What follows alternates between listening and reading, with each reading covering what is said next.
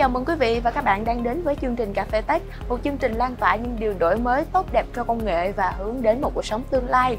Và cùng với tinh thần đó thì để mở đầu chương trình ngày hôm nay, mời quý vị hãy cùng theo chương Cà phê Tech đến với thủ đô Hà Nội. Chúng ta sẽ cùng nhau tham quan và tìm hiểu về một ngôi trường đại học, nơi mà có những à, phòng lab vô cùng tiên tiến và là nơi đào tạo ra rất nhiều những nhà khoa học tương lai.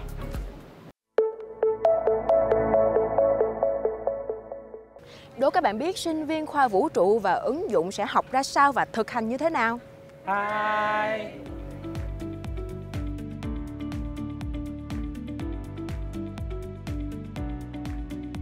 Hôm nay thì bọn em thực hành môn uh, viễn thám căn bản và bây giờ bọn em đang thực hành với uh, một cái máy đo quang phổ. Ấy. Quang phổ là một cái giải uh, ánh sáng ở trên các vỡ sóng khác nhau ấy. Thì bọn em sẽ thực hành đo với lá cây để chung là biết được uh, lá cây sẽ có chứa những thành phần gì À và cái này nó sẽ giúp cho em uh, biết được uh, sức khỏe của cây hả? Sức khỏe của thực vật hả hay sao? Vâng. Thì chị có thể thấy là nó có nhô lên đỉnh đỉnh ở một cái giải bước sóng tầm 500 550 gì ở đó ở đấy. Thì cái, đây là bước sóng của màu xanh lá cây. Với máy này thì nó ứng dụng được rất nhiều trong viễn thám hoặc là trong vật mình xác định được thành phần của cây thì mình sẽ xác định được sức khỏe của cây và trong vật lý thiên văn thì mình có thể xác định được những uh, thành phần của bầu khí quyển của hành, các hành tinh hay là của sao. Wow, cảm ơn các bạn rất là nhiều. Thôi các bạn cứ tiếp tục phần thực hành của mình nha.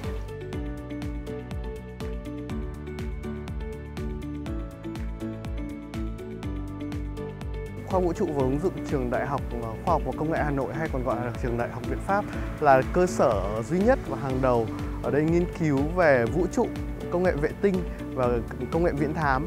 Thì ờ, để mà xác định được cái cái phản xạ phổ của các đối tượng là cái cơ sở để xác định đối tượng trên ờ, trên ảnh viễn thám thì chúng tôi cần nhiều rất nhiều các thiết bị.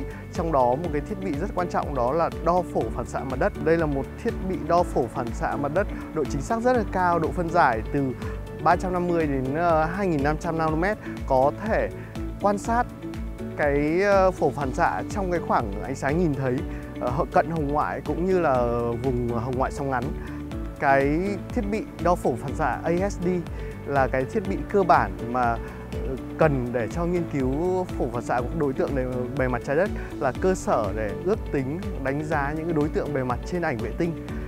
Vì vậy, cái thiết bị này cực kỳ quan trọng trong nghiên cứu viễn thám. Thiết bị ờ, ASD này được cung cấp bởi nhà phân phối DKSH là một cái thiết bị rất là quan trọng phục vụ cho uh, không những giảng dạy mà cho nghiên cứu.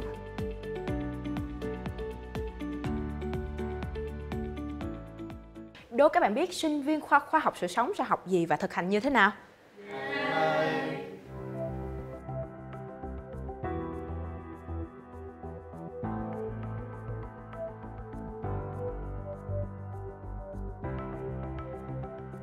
À, đây là máy phân tích amino acid uh, model Biochrome 32 cộng. Đây là một cái máy rất là hiện đại, một trong số những cái model uh, uh, mới nhất. Uh, máy này là giúp cho mình phân tích uh, một cách chính xác định tính định lượng tất cả các uh, amino acid cơ bản có trong uh, thành phần thực phẩm trong các nguyên liệu.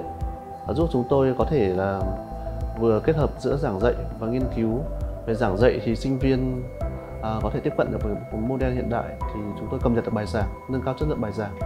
Đồng thời các bạn sinh viên có thể làm quen được um, với những uh, công nghệ hiện đại nhất. Từ đó thì có thể tự tin hơn sau khi ra trường. Về mặt nghiên cứu thì uh, nâng cao chất lượng nghiên cứu. Máy độ chính xác cao độ tin cậy cao thì kết quả nghiên cứu sẽ được uh, uh, đánh giá cao và có tiềm năng đăng trong các tạp chí quốc tế uy tín hơn.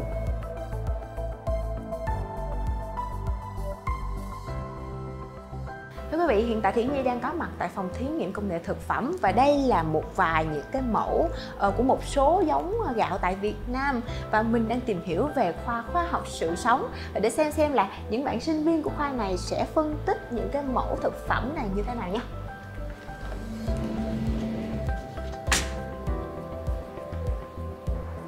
Ừ, thì đây là kết quả của cái việc mà phân tích amino acid bằng cái máy này.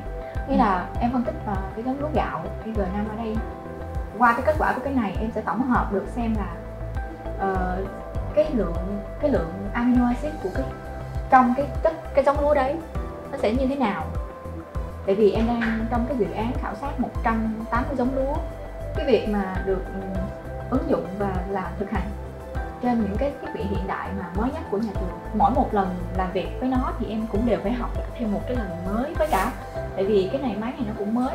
Theo như em biết thì ở Việt Nam mình chỉ có ba máy thôi và Ừ. trường em thì được một máy em thấy là cái việc học thì nó sẽ thuận tiện hơn kiểu mình tiếp cận được với cái nguồn thông tin mới nhất thì nó sẽ uh, update. dạ sát với thực tế sát hơn với thực tế hơn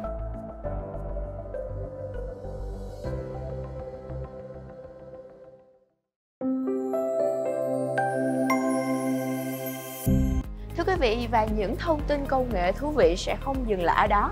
Mời quý vị chúng ta sẽ cùng nhau điểm qua thêm những thông tin nổi bật trong thế giới công nghệ trong tuần vừa qua với chuyên mục Cà phê điểm tin. Lễ ký kết thỏa thuận hợp tác trong lĩnh vực chuyển đổi số giữa Bộ Công an và Tập đoàn Bưu chính Viễn thông Việt Nam VNPT đã chính thức được diễn ra.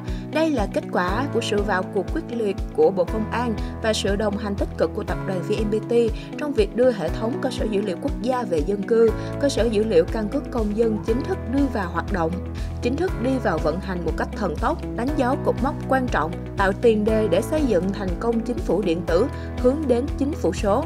Về chuyển đổi số, Bộ Công an và Tập đoàn Bưu chính Viễn thông Việt Nam VNPT sẽ tập trung vào các nội dung như triển khai đề án chuyển đổi số của Bộ Công an giai đoạn 2023-2025, lộ trình hướng đến năm 2030, hợp tác triển khai đề án 06, phát triển dữ liệu số, hạ tầng kỹ thuật, trung tâm chứng thực chữ ký số chuyên dùng phục vụ công tác chuyển đổi số của Bộ Công an, hệ thống ứng cứu khẩn cấp. Vừa qua, buổi tọa đàm cà phê tech kỳ 2 được diễn ra với chủ đề Giải pháp số hóa, giám sát và tiết kiệm năng lượng cho nhà máy sản xuất. Chương trình được thực hiện bởi Hội Doanh nghiệp Cơ khí điện Thành phố Hồ Chí Minh và Trung tâm hỗ trợ phát triển doanh nghiệp Thành phố Hồ Chí Minh. Buổi tọa đàm xoay quanh việc phân tích những khó khăn mà các nhà máy sản xuất thường xuyên gặp phải, đồng thời các doanh nghiệp tham dự cũng được trực tiếp trải nghiệm các giải pháp công nghệ giúp tiết kiệm lượng điện năng tiêu thụ của các máy cơ khí bằng cách nâng cao hiệu quả sử dụng, cải thiện hệ thống thủy lực và làm mát của máy. Bên cạnh đó, doanh nghiệp còn có thể kiểm soát lượng phát thải carbon thông qua việc tự đánh giá trên máy cơ khí.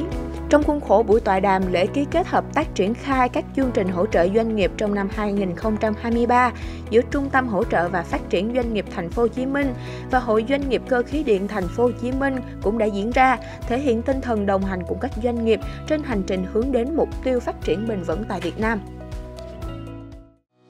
Vừa qua, vòng loại tại Việt Nam thuộc giải đấu Spogomi World Cup 2023 đã được diễn ra tại khuôn viên trường Đại học Công nghệ Thành phố Hồ Chí Minh. Giải đấu được tổ chức và quản lý bởi Social Sport Initiative, hợp tác cùng tập đoàn Fast Retailing, công ty mẹ của thương hiệu Uniqlo và được phát động tài trợ triển khai bởi quỹ Nippon Foundation từ Nhật Bản. Spogomi là một bộ môn thể thao ra đời ở Nhật Bản vào năm 2008. Trong đó các đội thi đấu với nhau để giành điểm dựa trên số lượng và loại rác nhặt được ở một khu vực nhất định trong một thời gian giới hạn.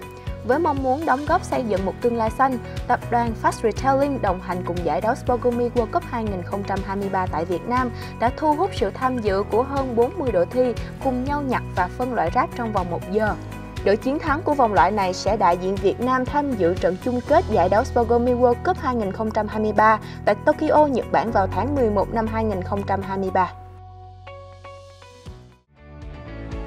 Samsung chính thức giới thiệu dòng sản phẩm màn hình thông minh Smart Monitor 2023 tại Việt Nam với 3 phiên bản mới, cho phép người dùng tùy biến phong cách và nhu cầu cá nhân. Dòng sản phẩm gồm 12 mẫu màn hình đa năng, trong đó 3 phiên bản M8, M7 và M5 có nhiều phiên bản màu sắc và kích cỡ khác nhau với nhiều nâng cấp công nghệ đáng kể.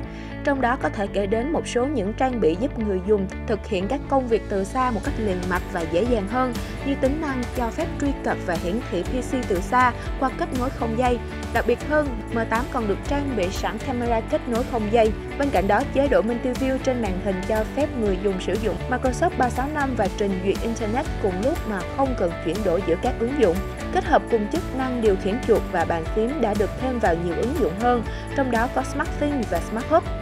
Ba model M80C, M70C và M50C đã chính thức được mở bán trên toàn cầu, trong đó có thị trường Việt Nam. Vừa qua, tập đoàn sản xuất điện tử tiêu dùng và thiết bị thông minh Xiaomi đã công bố một kế hoạch với tên gọi triết lý Zero Carbon nhằm cắt giảm đáng kể lượng phát thải khí nhà kính. Theo đó, tập đoàn này sẽ nỗ lực giảm thiểu lượng phát thải carbon thông qua việc nghiên cứu và phát triển công nghệ sạch, mở rộng các kỹ thuật quản lý chất thải điện tử, cũng như triển khai các hoạt động vận hành và hậu cần xanh. Với chiến lược khí hậu và triết lý Zero Carbon, Xiaomi đề ra mục tiêu giảm phát thải khí nhà kính đầu tiên vào năm 2021 nhằm cắt giảm lượng phát thải nhà kính bình quân đầu người từ nhà máy tự vận hành xuống 4,5% vào năm 2026 với mức cơ sở năm 2020. Trước đó, trong năm 2022, Xiaomi đã đầu tư hơn 50% tổng chi phí R&D cho việc nghiên cứu và phát triển công nghệ sạch. Đây là tiền đề giúp hãng sẽ tiếp tục đưa ra nhiều chính sách hiệu quả nhằm quản lý chất thải điện tử, góp phần vào nền kinh tế tuần hoàn trong tương lai. Thưa quý vị, những trải nghiệm công nghệ thú vị sẽ không dừng lại ở đó. Mời quý vị chúng ta sẽ cùng đến với chuyên mục tiếp theo. Nhớ quay vlog nha em nhưng mà nói không dên ổn mình đang ở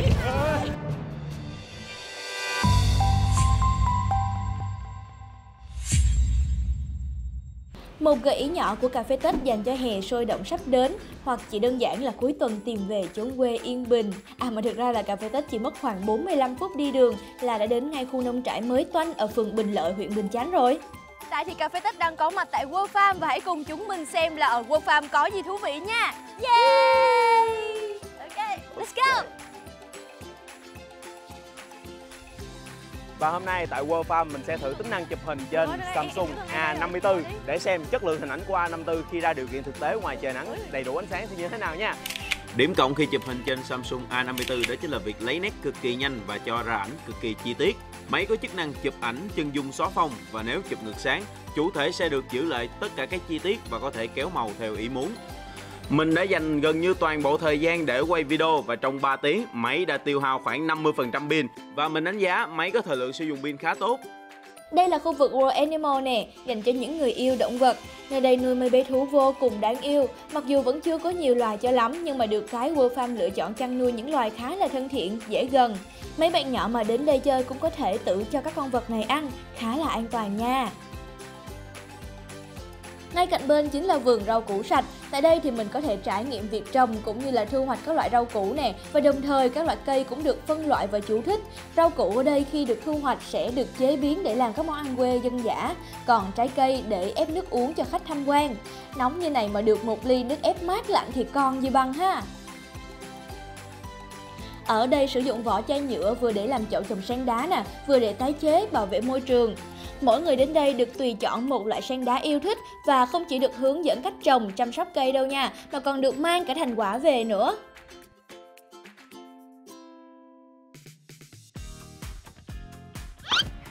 Ta-da, tiết mục chèo thuyền đã đến rồi đây. Tại đây thì có cả một cái hồ phủ bèo xanh siêu to luôn. Mọi người có thể tự chèo thuyền hoặc là nhờ các chú nhân viên ở đây hỗ trợ. Nhưng mà trước khi xuống thì nhớ là phải mặc áo phao cho an toàn nha. Khung cảnh ở đây bình yên lắm luôn á. Không biết mọi người có cảm nhận được không Nhưng mà chỗ này thực sự rất là chill luôn. Thanh Sang Nhớ quay vlog nha em. Nhưng mà nói không dên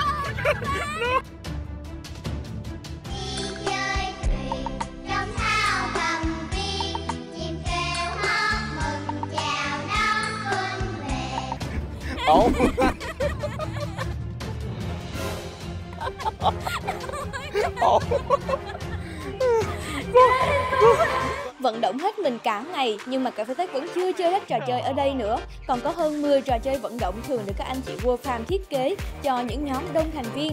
Hiện tại thì khu nông trại này vẫn đang được tiếp tục hoàn thiện thêm nhiều không gian cắm trại lẫn trải nghiệm nữa. Hứa hẹn sẽ là điểm giả ngoại yêu thích của mấy em nhỏ và là điểm quẩy hết ga của người lớn nghe.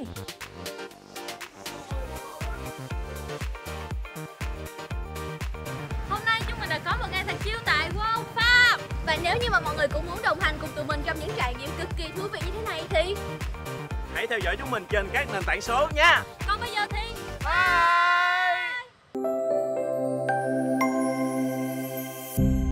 vị, mong rằng những nội dung vừa rồi đã mang đến cho quý vị một nguồn năng lượng tích cực trong buổi sáng ngày hôm nay. Và đến đây thì chương trình Cà phê Tắc xin phép được khép lại.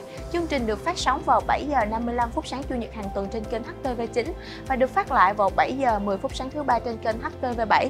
Quý vị cũng đừng quên theo dõi chúng tôi trên các nền tảng số để có thể cùng nhau chúng ta sẽ lan tỏa những điều đổi mới tốt đẹp trong công nghệ và hướng đến một cuộc sống tương lai. Còn bây giờ xin chào và hẹn gặp lại.